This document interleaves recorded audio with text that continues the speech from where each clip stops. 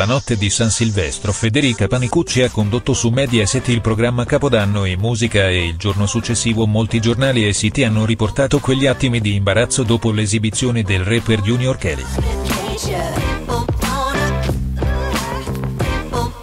Molto conosciuto tra i giovani, l'artista laziale è famoso perché ai suoi concerti si presenta sempre con una maschera senza mostrare mai il volto e durante la serata. Di Capodanno a Bari trasmessa su Canale 5 ha fatto innervosire la conduttrice per il linguaggio decisamente scurrile con cui si è rivolto al pubblico. Abbasso la droga, viva la FA per sempre.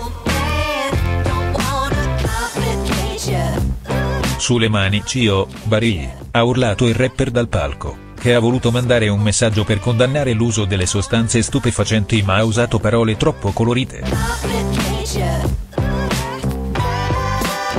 E infatti Federica, appena avuta l'occasione, ha subito ammonito il rapper e chiesto scusa a telespettatori e presenti, le sue scuse al pubblico, chiedo scusa per le parole che sono state utilizzate.